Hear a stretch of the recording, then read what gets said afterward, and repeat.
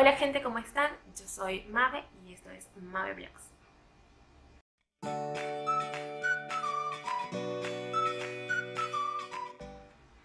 En este video les voy a hablar de Giselle Garrido Cruz, una niña mexicana de 11 años que estuvo 8 días desaparecida.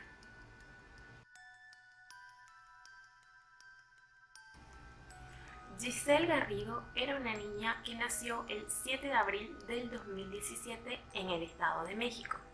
Sus papás eran el señor Rigoberto Garrido, conductor de transporte público, y su mamá, la señora Miriam Cruz.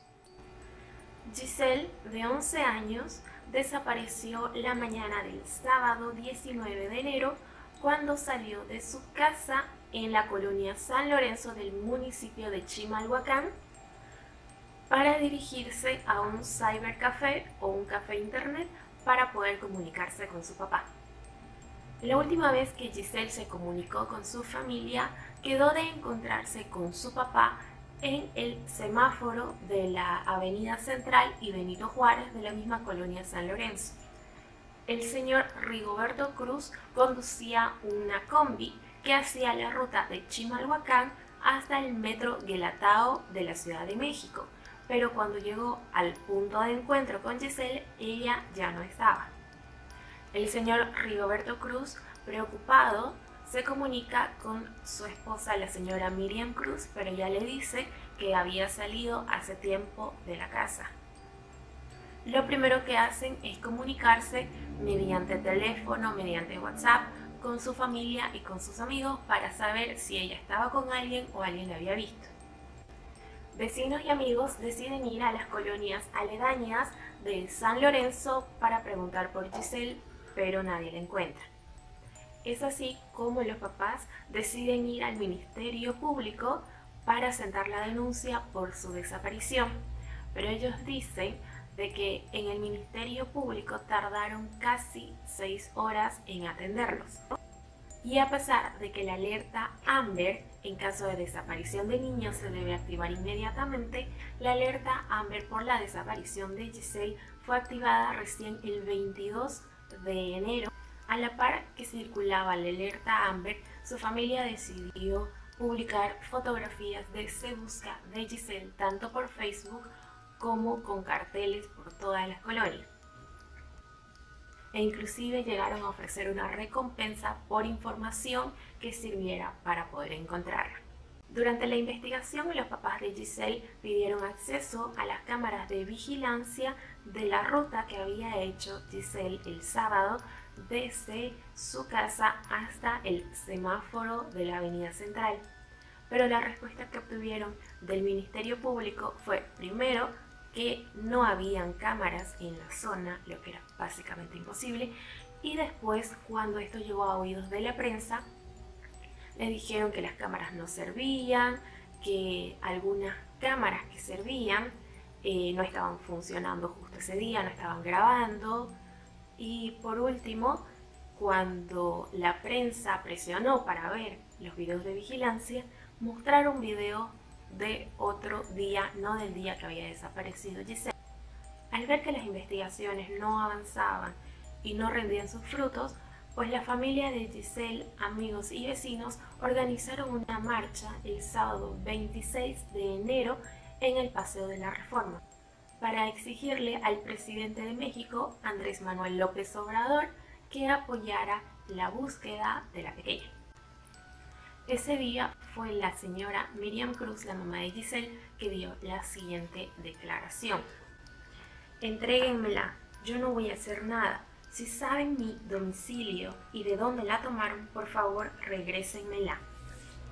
Fue un día después de las manifestaciones que las autoridades mexicanas encontraron el cuerpo de una niña sin identificar en un terreno baldío del municipio de Ixtapaluca.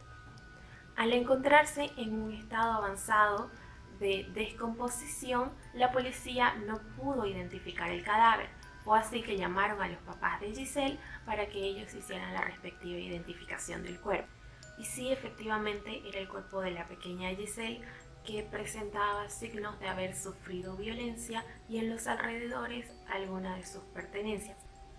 Entre ellas, la policía logró rescatar una sábana con la que presuntamente ella había sido envuelta y llevaba al lugar. El día lunes 28 de enero, los padres, familiares, amigos de Giselle velaron su cuerpo en la calle Los Pinos de la colonia San Lorenzo, en su vivienda, y le dieron su último adiós. Días después, la Fiscalía del Estado de México informó a la prensa que tenía un presunto responsable por el asesinato de Giselle. Fue así como se presentó al señor Roberto N., de 53 años, que era el dueño del café internet al que había acudido Giselle la mañana del sábado 19. Este señor declaró que la mañana en la que Giselle fue al café internet, él se encontraba ebrio y que al no haber más clientes, él decidió invitar a la pequeña a una habitación conjunta para tomar un refresco. Giselle aceptó y fue ahí cuando comenzó el ataque. Le golpeó el estómago para someterla, le tapó la boca para que no gritara y procedió a abusar de ella. Él también dice que al estar ebrio no se dio cuenta que al taparle la boca lo que estaba haciendo era asfixiarla, que ya era demasiado tarde cuando notó que la pequeña Giselle ya no respiraba. No supo qué hacer, así que envolvió el cuerpo en una sábana y la dejó en la habitación. Más tarde, aproximadamente como a las 5, los papás de Giselle le tocaron a la puerta para preguntar por la menor por si no la había visto. Él lo que dijo es que esa mañana él no había abierto y que no la había visto. Cuando se fueron, lo que hizo fue agarrar el cuerpo, meterlo en la cajuela del auto y conducir hasta el municipio de Ixtapaluca para luego proceder a abandonarlo. Ante las indagatorias, lo que hizo la fiscalía fue obtener una orden de cateo para revisar la casa de este señor y fue ahí donde se encontraron sábanas similares a las que se encontraron cerca del cuerpo de la pequeña Giselle. Ante estas pruebas, lo que hizo la policía fue arrestarlo y los efectivos declaran de que el señor Roberto les había ofrecido un soborno de 5 mil pesos, que son aproximadamente como unos 260 dólares, para que lo liberaran. Ante todas las pruebas y declaraciones que obtuvo la fiscalía, se decidió trasladar a este señor al centro penitenciario de Nesa Bordo, donde todavía se encuentra ahí hasta que se determine su situación legal es decir, hasta que se lo someta a un juicio y se pueda decidir cuántos años de condena él va a tener. Y bueno gente, eso fue todo por el video de hoy. Pueden dejar sus comentarios en la parte de abajo sobre el caso o pueden dejar otros casos que quieren que investigue también.